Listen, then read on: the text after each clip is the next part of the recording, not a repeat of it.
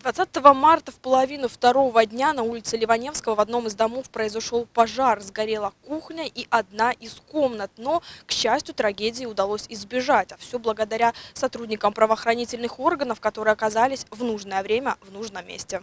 Два молодых милиционера, Павел Кривецкий и Александр Протасевич, находились в Брезе на курсах повышения квалификации. В обеденное время вышли прогуляться по городу. Маршрут молодых людей начинался от парка 1 мая и должен был продолжиться на площадь Ленина. Но так сложилось, что они свернули на улицу Ливаневского, как будто чувствовали, что именно там, в одном из домов, кому-то нужна их помощь. Когда проходили, обнаружили то, что из данного дома выходят очень большие клубки черного дыма из окон, дверей. Мы когда увидели это, сразу пошли сюда, во двор зашли. Во дворе никого не было на улице. Мы сразу э, с моим коллегой открыли дверь.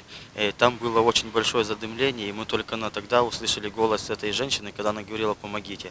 Э, мы когда с ней начали вести диалог, она говорит «я не могу выйти, у нее больные ноги». Мы так из наших предположений поняли то, что она инвалид. Не колеблясь ни секунды, Александр начал вызывать пожарных, а Павел, несмотря на огонь и клубы черного дыма, ринулся спасать пожилую женщину. Страха никакого не было. Было только желание спасти и помочь этому человеку. Увидели, оценили ситуацию, сразу все, и сразу поняли, как действовать. Конкретно прибежали в этот дом, оценили ситуацию. То есть во дворе дома людей не было, предположили, что люди могут находиться внутри этого дома. И то есть уже своими действиями слаженными от, увидели, куда можно попасть в этот дом, первый источник, вот, и открыли дверь, дверь была открыта, слава богу. Вот, открыли, увидели задымление, опять же услышали женщину на ощупь, пошли к ней, все действовалось грамотно. Александр и Павел героями себя отнюдь не считают, мол, спасли и спасли. Но говорят, случись что-то подобное еще, не раздумывая, поступили бы так же. Правда, никакого героизма не испытывается. То есть мы делали свою обычную повседневную работу.